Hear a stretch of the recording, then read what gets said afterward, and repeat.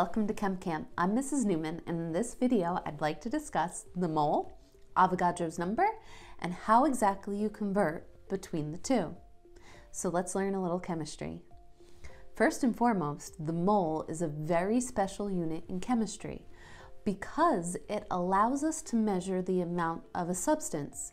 Keeping in mind, in a chem lab, we're working with, analyzing, measuring substances that are made up of atoms or molecules, particles that can't even be seen by the human eye.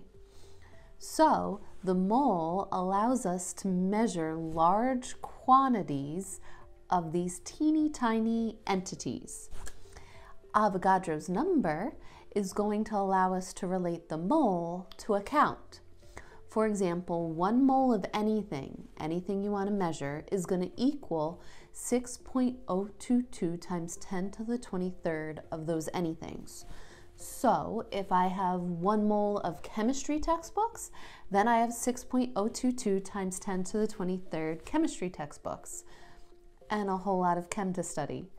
If I have one mole of dollar bills, then I have 6.022 times 10 to the 23rd dollar bills, and wouldn't that be lovely? If I had one mole of sand, I would have 6.022 times 10 to the 23rd individual grains of sand and could build a limitless amount of sandcastles. In chemistry, we use Avogadro's number to count, let's say, atoms. So if we have one mole of atoms, then we have 6.022 times 10 to the 23rd atoms. If we have one mole of molecules, then we'll have 6.022 times 10 to the 23rd molecules. And another real popular one is formula units. So if we have one mole of those, then we'll have 6.022 times 10 to the 23rd formula units. So let's see how this is applied to problems.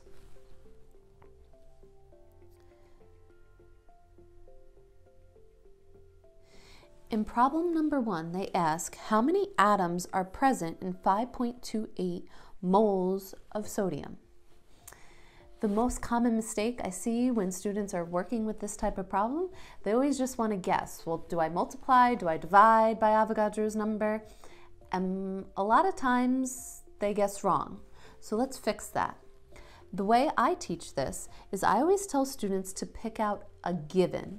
The given is going to be a number and a unit that they give you to start with.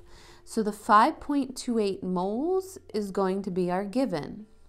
And since we want to start with it, we're going to take that number and unit and write it to the left side of our paper. So 5.28 moles of sodium. Once we know where we're starting, then we got to know where we're going. So we have to figure out what it is we're looking for. So we got to find the want. The want is going to be just a unit because you have to calculate the number. So in this particular problem, the want is how many atoms of sodium. So in case I get lost, I'm going to write atoms of Na to the right side of my paper so I can always take a look at where I'm supposed to be heading. Now, we're going to apply a concept called dimensional analysis here. So we're going to need a ratio. So I'm going to put a multiplication sign and then a fraction. And I'm going to focus on just the units for a minute here because if I can set up my units, then I know where to plug in numbers. So I have moles and I need to get rid of that unit. So I'm going to take mole, I'm going to place it to the bottom of my ratio. And then I got to figure out what goes on top. Well, since Avogadro's number relates one mole of an atom to the number of atoms, I can go from moles of a substance to atoms of that same substance. So I'm going to put the unit atom up top. Now, once I know I've canceled the unit I want to get to, and I've got the unit I need to get to at the top of that ratio, now I know I can use those units to plug in some numbers. So, according to Avogadro's number, for every one mole of atoms, I have 6.022 times 10 to the 23rd atoms. What that means is I'm going to put the 1 with the mole unit on the bottom of my ratio. And I'm going to put the number 6.022 times 10 to the 23rd at the top of that ratio with the atoms, which means I'm going to take in my calculator, or I'm going to plug into my calculator 5.28 times 6.022 times 10 to the 23rd. And the calculator tells me that I've got 3.179 times 10 to the 24th. However, this is chemistry and you are performing a calculation, so you should always be concerned with sig figs. Good news is Avogadro's number is considered a conversion factor, so it's considered to have infinite number of sig figs. So you don't have to worry about the ratio here, you just have to worry about the measurement or the given given to you in the problem. So this particular given, since it's all non-zero digits, has three sig figs involved, which means then I can have three sig figs in my answer. So I'm going to report the, my final answer as 3.18 times 10 to the 24th atoms of sodium. Let's work on number two.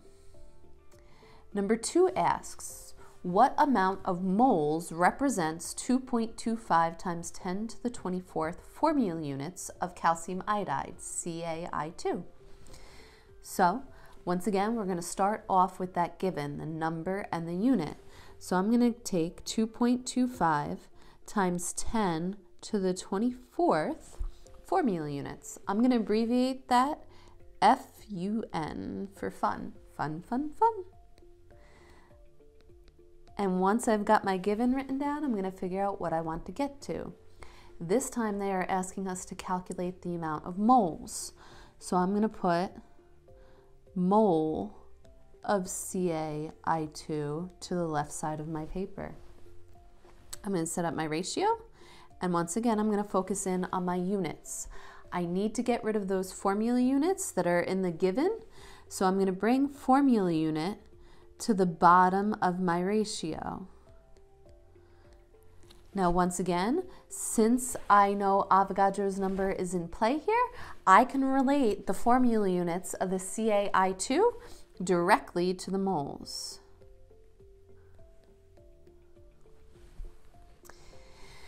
Now, once again, for every one mole of CaI2, I can have 6.022 times 10 to the 23rd formula units of CaI2. So this time the 1 is going to go with the mole, which is on top, and the number 6.022 times 10 to the 23rd is going to go with the formula units on the bottom. Since now that big number is on the bottom, I'm going to divide by it. So into the calculator, I'm going to plug 2.25 times 10 to the 24th divided by 6.022 times 10 to the 23rd.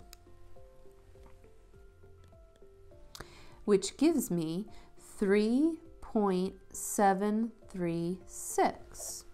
Once again, I'm going to check sig figs. I've got three sig figs in my given, so I can have three sig figs in my answer. So the final answer here is 3.74 moles of CaI2. Let's do one more. In the third and final problem here, they ask you to calculate the number of molecules present in 0.27 moles of CO2. So we're going to pull that unit out. Uh, I'm sorry, excuse me, the given out, which is the number and the unit. So we're going to pull out the 0.27 mole